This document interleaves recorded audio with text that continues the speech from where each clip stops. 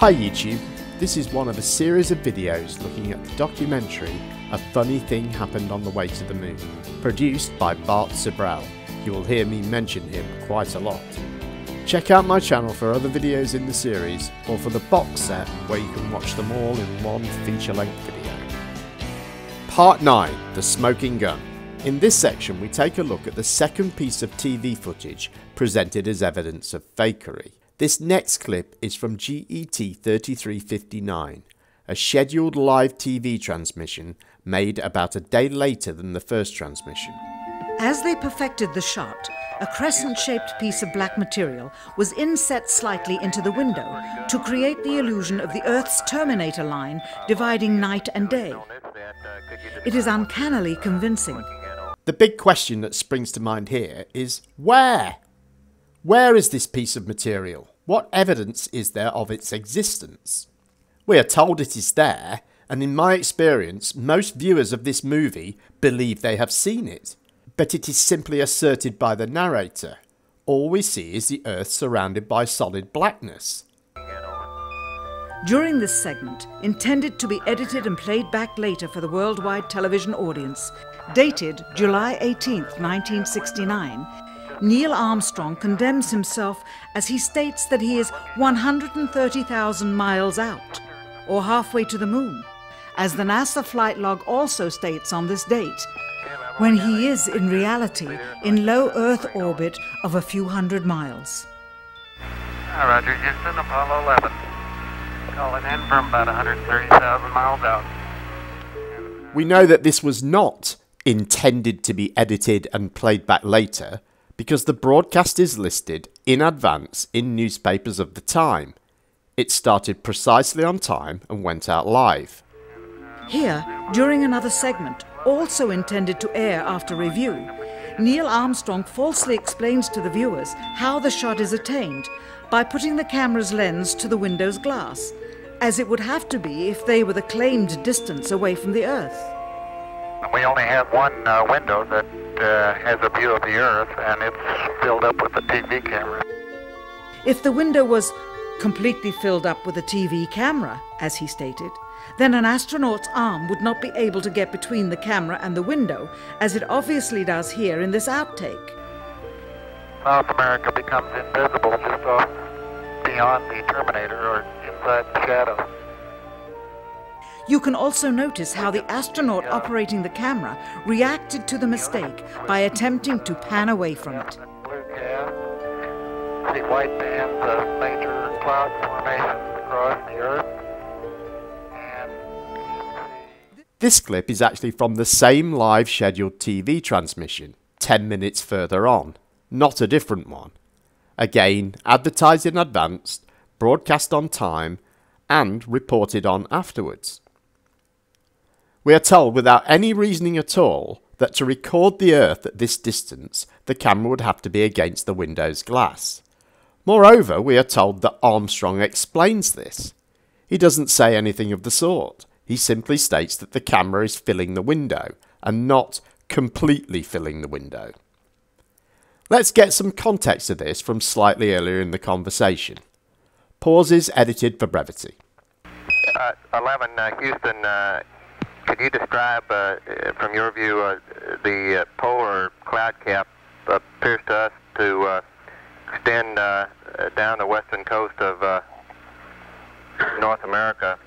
Would you would you estimate how far it ex- extends down? Over.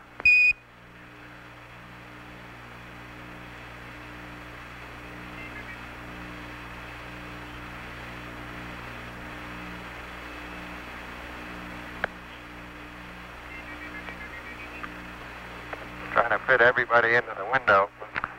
It uh, appears that the cloud ca- cap comes down uh, a little bit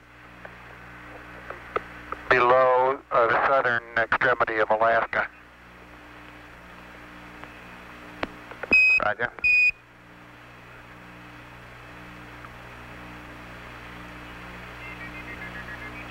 We've, uh, 11, we've lost our picture here now.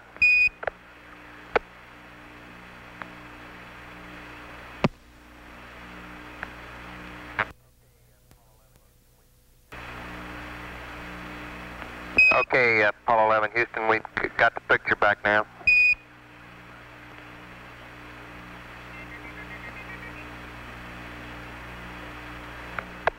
Unfortunately, we only have one uh, window that uh, has a view of the Earth, and it's filled up with a TV camera. So uh, your view now is probably better than ours is.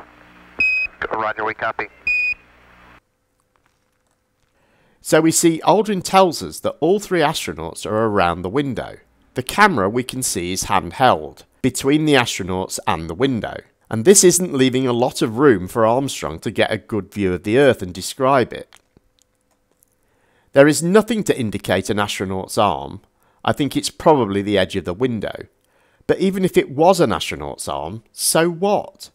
This isn't some mysterious thing that needs to be quickly covered up. It's just an astronaut trying to aim a camera while floating weightless in a cramped spacecraft, probably distracted for a moment. They were aiming to keep the Earth in shot, and when he realised the camera had drifted, he adjusted it accordingly. Remember, the only person to tell us that the camera is against the window's glass, and has to be, was the narrator. Okay, we're down to the big reveal. This is a segment that they believed wasn't even being recorded, much less suitable for broadcast, for the lens was being zoomed out and the scene was being changed to that of an interior of the astronauts at work, and apparently the stop button popped back up on the recorder without notice. Here is the diffused work light that they used to see camera controls, but not throw light onto the spacecraft's wall. Here they remove part of the crescent insert.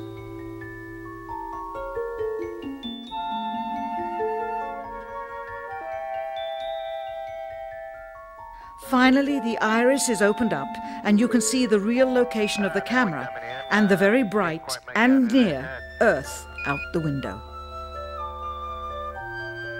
Here is the slate for the 19th of July. And the same shot of trickery on the 19th of July.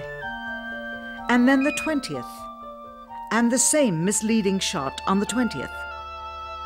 Later that evening, they were said to be walking on the moon. How can this be when they were in Earth orbit only nine hours earlier, and the moon is some three days' journey away? Furthermore, if they genuinely went to the moon, why would they be faking any part of it? Why this trickery with the window? By faking being halfway to the moon, it becomes apparent that they did so because they could not even go halfway. It thus confirms that the stumbling block to their success was the lethal radiation of the Van Allen radiation belts. Since the same equipment was used on the subsequent missions in the 40 months that followed, none of them could have gone to the moon. They only increased their proficiency at staging them. Well, since they keep saying it, I will too. This is from the same scheduled live TV transmission. The crew knew that they were live across the USA. They are pointing the camera at the Earth and providing a commentary. What would be the purpose of this if they didn't think that they were even being recorded? This supposed accidentally revealed scene change was detailed in the commentary. We will pick this up right where we left off the last time. Unfortunately, we only have one uh, window that uh, has a view of the Earth, and it's filled up with a TV camera. So uh, your view now is probably better than ours is. Roger, we copy.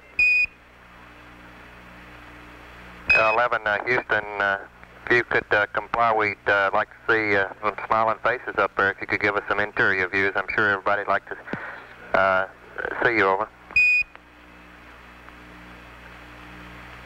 Okay, we'll uh, reconfigure the TV for that. Roger.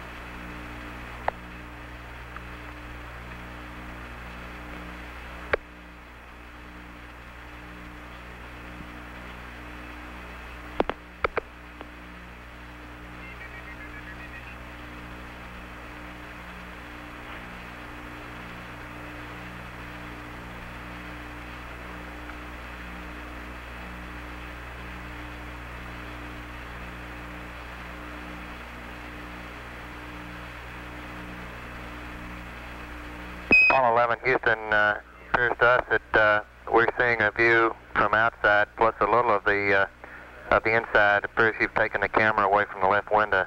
Now over. That's correct. We're uh, moving it back and uh, reconfiguring for uh, interior lighting. Roger.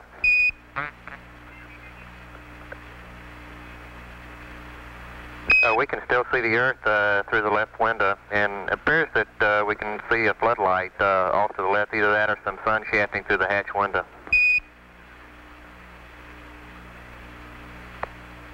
It's a floodlight. Ah, now we're coming in. Uh, can't quite make out who that hatch.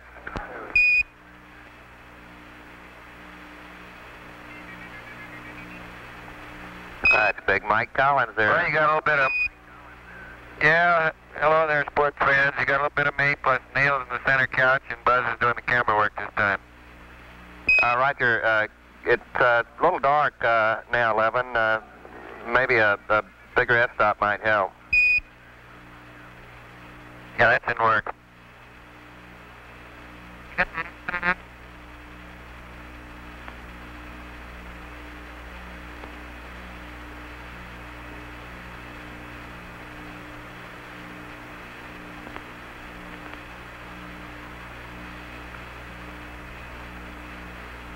That's getting a lot better now, 11. Uh, Mike, you coming in uh, 5 I got a good...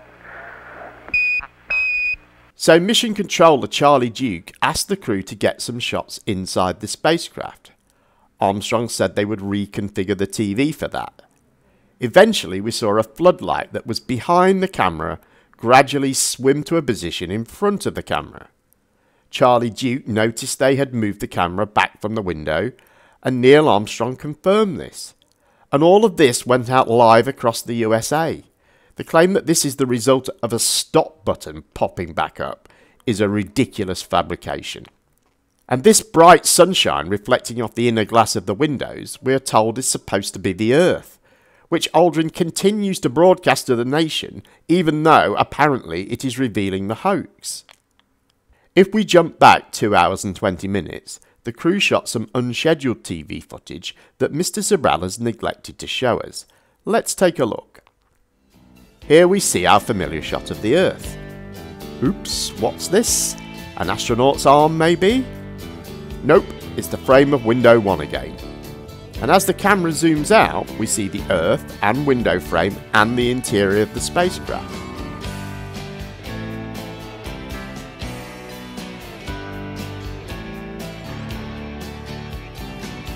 Now the spacecraft rolls and the Earth goes out of view.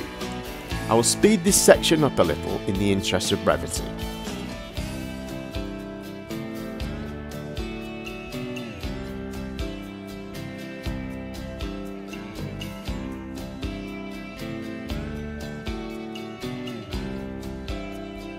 And soon we see the Earth reappear, this time through a rendezvous window, showing that all of Sibrel's assertions about low Earth orbit, spacecraft windows, and inserted pieces of material are figments of his imagination.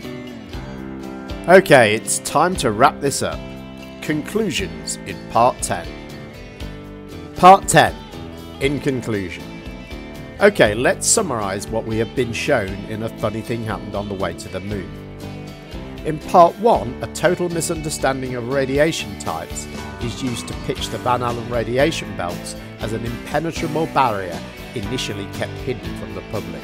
In part 2, illogical and unfounded arguments suggested the USA was incapable of competing with the Soviets in the space race, and that money could be saved with a hoax if only thousands of people could be convinced to keep quiet about it. We also heard a plan for part of the hoax using a satellite that wasn't needed and wasn't capable of fooling the people it needed to.